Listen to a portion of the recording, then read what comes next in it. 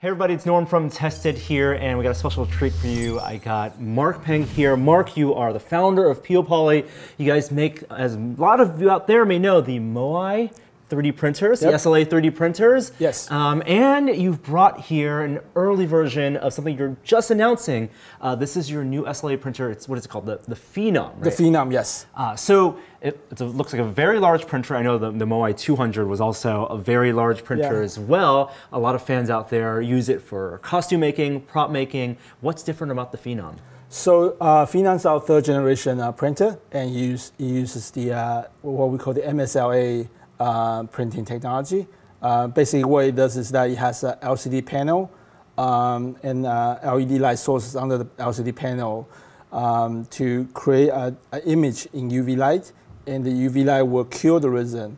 And so the printing now is done by layer per layer all at once instead of uh, using the laser curing uh, path by path. Right, right. So a lot of people out there may know about the fundamental differences between like an FDM printer and an SLA printer. FDM, you're melting plastic, extruding it. Right. SLA, you're curing resin that you're pouring into a reservoir, like you said, layer by layer. Right. Differences between a laser um, SLA printer, which you guys still make in the Moai, Right. and an LCD, uh, because you're not going path by path, you're using a panel. Right. So what is the LCD panel you're using here? Or how big is it and what's the, the resolution? So it's a 12.5 LCD uh, four, uh, panel with a 4K resolution.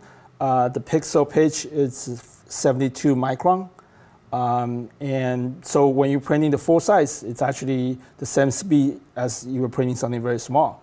So, and that's a big advantage for a lot of uh, uh, uh, creators because they can now print big and they can print it much faster than before. you're doing basically one frame at a time, one whole layer, Right. and the only constraint you have is how long that entire layer takes to Right. cure, peel, move up your z-axis and move down. Right. So the height of the print is really what determines, and the exposure per layer is what determines the overall print time. So the exp- I want to talk both of those things, right? Uh, the exposure, because not you can't just find any LCD panel, put it in there. You're looking for certain qualities of a LCD that make it good for capturing and passing through the, the UV light, right? Right. So what's the source of the UV light, and what do you do to make sure that there's no diffusion and that you're getting as many of those 4K pixels as possible?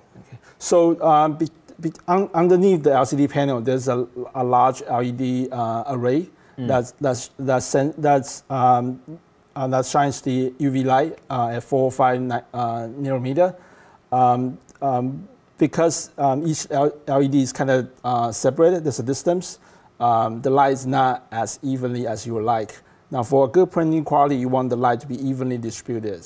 So some of the techniques you, you want you, we can use, we deploy is using optical films um, and uh, optical lens to kind of make the lights more even, uh, and then uh, create a very smooth surface when you print. Mm, I think the analogy of like a monitor, like a LED TV, Yes. right? You know, a lot of those LED TVs have have a LCD panel, right, Right. which has a resolution, has a contrast ratio, uh, has a pixel density, Right. uh, and then behind it is an array of a backlight, Right. And then you can have you can you're choosing as a manufacturer how dense to make that LED backlight, whether you're putting you know one per every inch, one per every couple inches. How do you choose that balance? Um, between cost and density, and That's that's a very good question, and picking that in addition to what we call a diffuser, which is on top of the uh, the LED to the uh, LCD panel, that kind of determines how the light is distributed. Uh, the key decision point would be how much heat you will generate. So if you have more LED, uh, uh, you know, each one of them, if it's close, if you have a lot of them and they're packed closely together, it's going to generate obviously more light, um, and so it will be more even. But it might, uh, but LCD usually cannot handle uh, temperature over 60 Celsius. Right. So if you have too much of that, it might cause problem for the lifespan of the LCD panel. And that's kind of where you have to think about that when you design a printer like this. Right. So you've chosen an array of LEDs and using things like uh, go like lensing Right. to help balance it out, so you don't get again going back to the TV analogy, you don't get hot spots or backlight bleed Exactly. or that kind of thing. Yes. So it's when when that UV light hits the LCD, it's as even as possible, Right. and it's not too hot because you want to want to burn out that LCD. Right, and you also have to think about the distance between the LED and the panel. because the farther away those two are apart, uh, the more en- light energy you loses, and that means longer exposure time. But if you keep them too close, then all the heat is going to go straight to the LCD panel. It's going to cause problem with uh, printing as well. I mean, it sounds like heat's a big consideration for this type of printer as well, something that wasn't as big a factor in the Moais when Right. you're using a laser. And so I do see their fans, Yeah, and, and you have a, a big heat sink in there. It is, and, and we got some pictures for you guys. And um, when, we, when were chatting, we are talking. This was like, sounds like almost like a gaming PC. Yeah, when yeah, you turn yeah. around, there's uh, five fans in there, um, and I think that's really all. I think I, I, I would say a majority of design decisions is how to run the LC, LCD LED uh, Mm. efficiently and run their core. Right. And then because you make that analogy to the PC, the gaming PC, then there are opportunities in the future to do different types of active cooling. Right. Uh, active cooling, uh, I think uh, things that we'll see in gaming PC will be uh, uh, water, liquid Right. cooling. So that's one option. Uh, the other option down the road might be using some kind of like a semiconductor, like AC conditioning, air conditioning. Mm-hmm. Put a compressor in there and- blow blow a cold air into it. Yeah. So there, there are ways that we're looking at to um, to uh, improve the cooling down the road. Um, and so that's one reason why we designed this printer to be modular, Mm. so we can actually swap out um, uh, upgrade units in the future.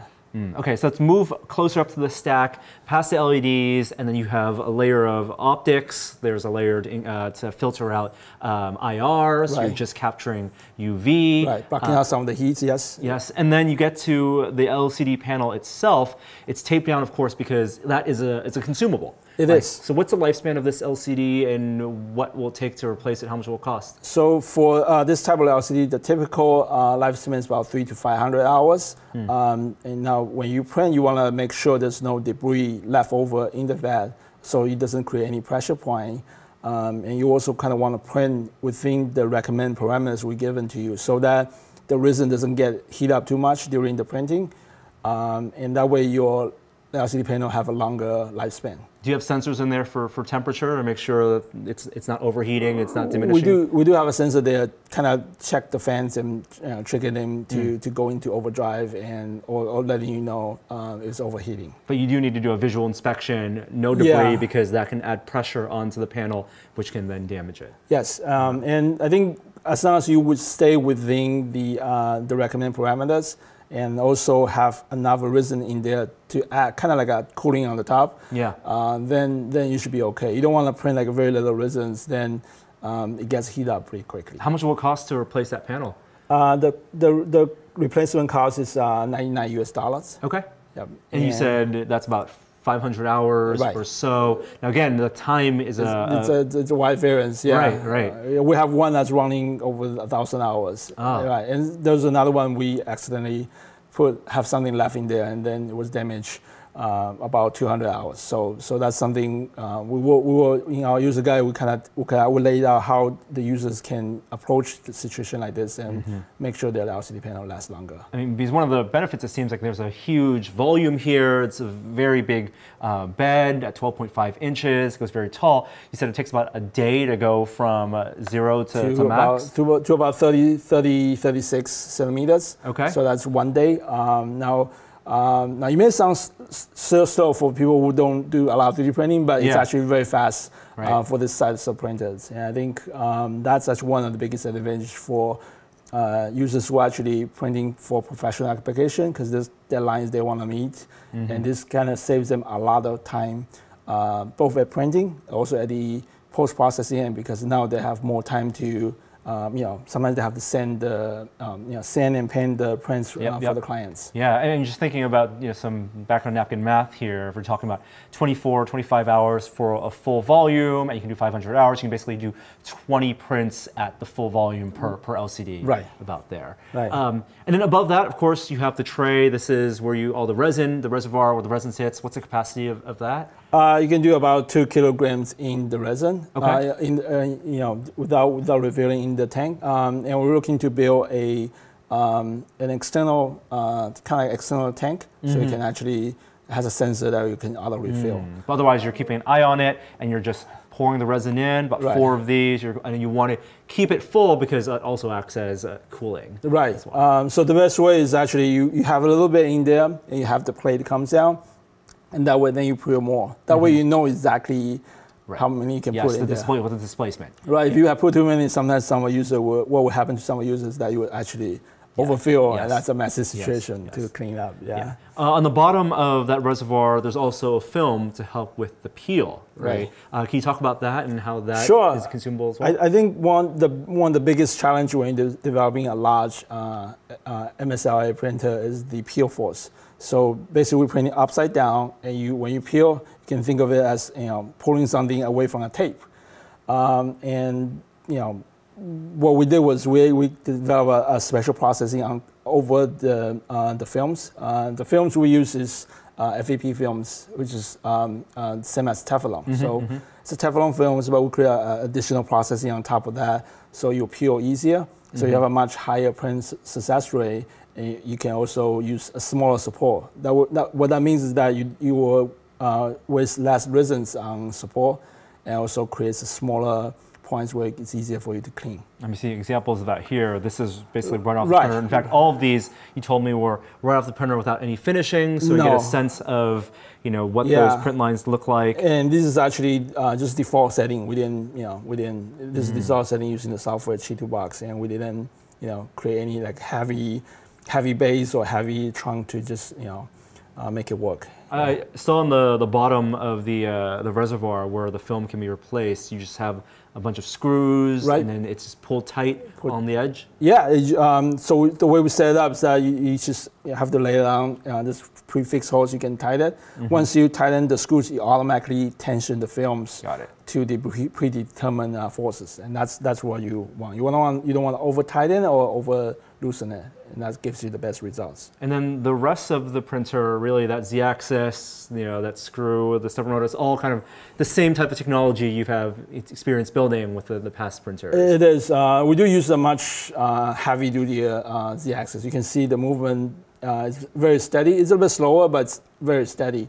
And we actually intend for our users to use the full volume of uh, 40 centimeter build, build height. and then the plate easily unscrewed, you can Yep. remove it, and then peel it off and cure it. Yeah, and because we were able to reduce a lot of peel forces, we could use a full uh, solid plate instead of perforated plate. Um, and what that means is that you can get like a very clean, Bottom. clean yeah. bottom. Yeah, you don't, you wouldn't get like a little spots here. You have to Yes, sand it off. Yeah, yeah, no perforations there. Uh, and then uh, you can get your files over. Software is the same as the Moais, is, is that correct? We're, we're using the Chitubox that come that, that's um, that's um, with the firmware. So uh, we found that to be very popular with the uh, MSLA uh, printer users. So we decided to go with that, um, and that, that kind of helps us to shorten the development times and also make this uh, very user friendly for a lot of people. A lot of users who already using LCD printer but looking to go bigger. Right, right. Uh, it's USB, it's Ethernet, uh, no Wi-Fi in here. It is a really short development time because the Moai you guys just announced at the beginning of 2019, the 200. Yeah. And, and you guys keep putting out new printers pretty quickly. Yeah, so we, we've been actually looking at LCD printers since uh, last uh, last summer, um, and we're kind of looking at a, good price point, good entry point for us to go in. And I think our ex- you know the development experience we got from Y200 allow us to actually figure out how to deal with that peel force well, and we just applied that, and that was able to help us shorten the development time. You said there's going to be upgrade potential, uh, not only potentially for the cooling, but the, the LCD panel itself. Is that something you might change out? Yeah, um, so uh, down the road, uh, if we found uh, a, a panel that has longer life, even longer lifespan, or even higher resolution, or, or some combination of advantages that we can actually replace that. Yeah. Uh, now, it, it does not work with every single 12.5 LCD panel because each panel has a different uh, layout, but we could make it work for uh, some of the uh, 12, 12.5 panels. Mm, that's very cool. Uh, and then, so this is shipping this fall. What's uh, what's the pre-order and Yes. pricing and, and uh, shipping time for this? So we are uh, we're announcing the products on October 1st. Uh, we'll start taking pre-orders online and also at our resellers. Uh, and we're, we're planning to ship uh, October 15th. Wow, that's very soon. Yeah. It's very cool. We'd love to get one to, to test and do some big prints. Yeah. We have some friends of ours, Broken Nerd, designed this, and, and- Yeah. and, um, it's a beautiful print. But thank you so much, Mark, for bringing the Phenom here for us to check out and do a preview of. And uh, we can't wait to, to review it. Thank you for your time.